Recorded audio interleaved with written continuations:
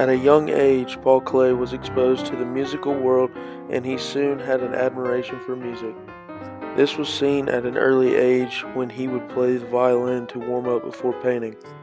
He told others that this was a way to get him focused and in the right mindset.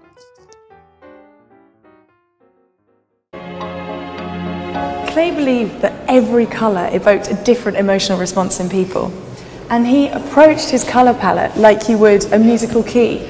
He then composed his paintings like you would a symphony, and you can see how he's done it here with these beautiful, rich hues which he's carefully placed like musical notes. And again, the high notes, these little flashes of yellow here, and the beautiful, rich blue. I think this is why Klee became an abstract painter. He felt that colour alone was all that the painting needed. Klee was often referred to as a gifted violinist.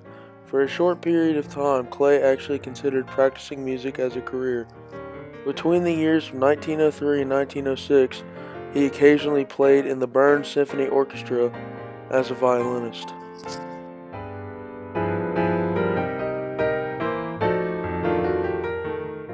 Interpretations of the work vary widely. Some people view this piece of art as a nightmarish event. However, it is thought to hold another interpretation of being a relation between nature and man. In this picture, there are three birds on a wire that is attached to a hand crank. When you turn the hand crank, the birds begin to tweet, hence the name twittering machine. Today, the twittering machine is hung up in children's bedrooms around the world to symbolize the nature aspect in the painting.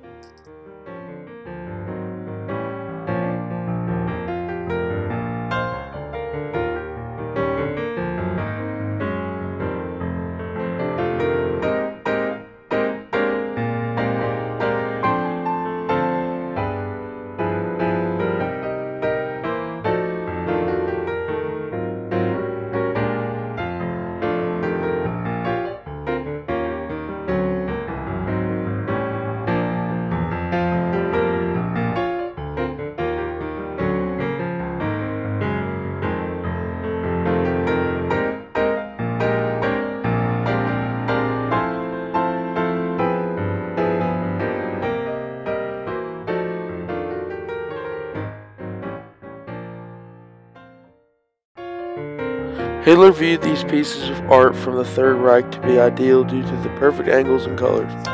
There was nothing abstract in these artworks. He felt that abstract art was not artistic in any manner and viewed them as endangering to Nazi Germany. These views on art are said to come from the fact that he was denied from art school and that these abstract paintings were looked at as masterpieces by professional artists. When Hitler decided to wage war against modern art, George Grosz became enemy number one.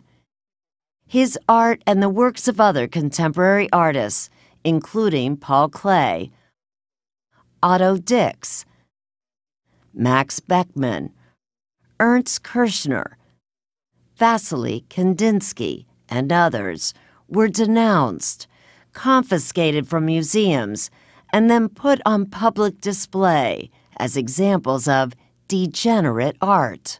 The Degenerate Art exhibition clearly was very ideological. It was a way of articulating the Nazi worldview.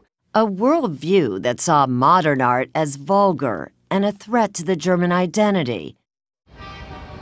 This is the only known film footage of the original Degenerate Art Show, which opened in Munich on July 19, 1937, and was seen by an estimated 2 million Germans.